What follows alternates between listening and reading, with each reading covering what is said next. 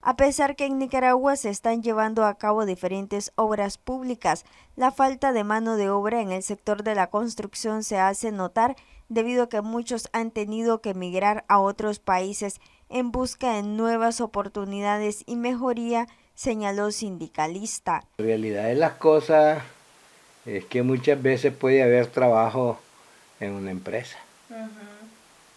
el en el caso, por ejemplo, de los oficiales, como no se negoció el salario de ellos, eh, no quieren estar con los salarios que les están imponiendo en, las empresas mismas.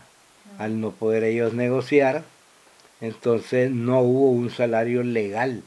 Y eso no, lo que hacemos nosotros es tratar de que el 10% que se le dio para los ayudantes en el salario mínimo se les incremente. Entonces hay empresas que no quieren aceptar. Entonces el trabajador llega, pregunta y mira las condiciones que le están ofreciendo el salario y los vemos irse para buscar el trabajo a otro lado y por último los vemos que ya cuando sabemos ya están en los hermanos países de Costa Rica y Panamá y o alzan vuelos para otros lados. Ese, la migración aquí sigue dando golpes fuertes en todos los departamentos.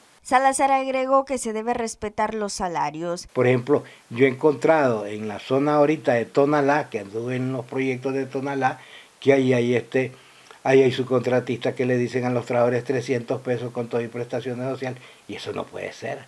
O le dicen a los oficiales, ahora como no hay salario que se negoció, de los oficiales se les va a pagar igual que el salario de la ayuda. No puede ser ese tipo de políticas que están ahí.